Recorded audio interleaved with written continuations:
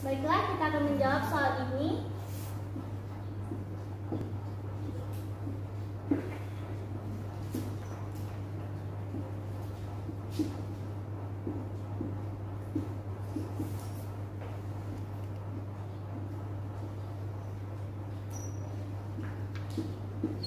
Jadi, F bundaran GX itu sama dengan FGX.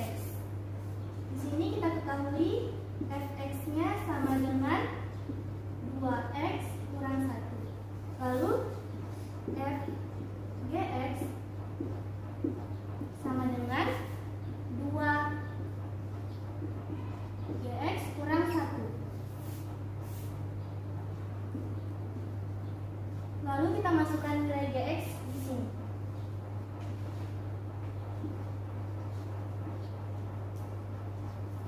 Setelah itu, lalu kita kalikan ke dalam.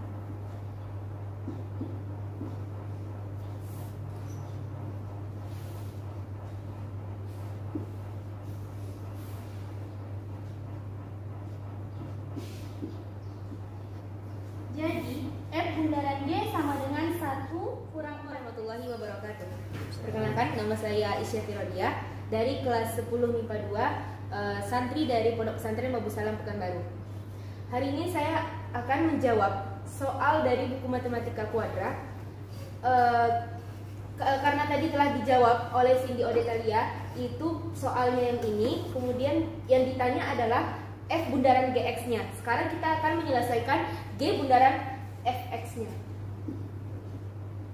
Yang ditanya adalah G bundaran Fx.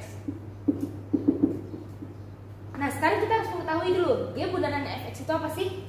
G bundaran Fx adalah F yang Fx yang masuk ke G yaitu G Fx. Oke? Sekarang kita tulis G Fx-nya. Sementara soalnya adalah Gx sama dengan 1 dikurang 2x. Otomatis x yang di sini akan berubah menjadi fx. Jadi kita masukkan angkanya 1 dikurang 2 g eh sorry maaf fx. Di sini sesuai dengan soalnya tadi.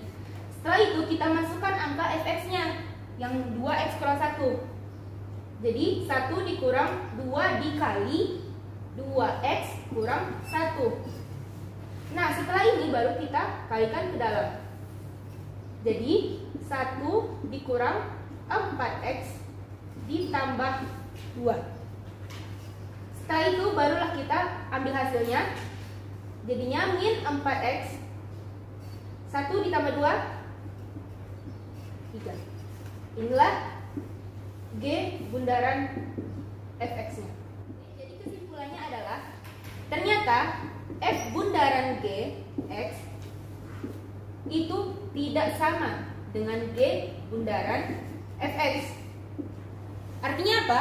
Ternyata sifat komutatif tidak berlaku pada fungsi komposisi. Sekian dari saya. Wassalamualaikum warahmatullahi wabarakatuh.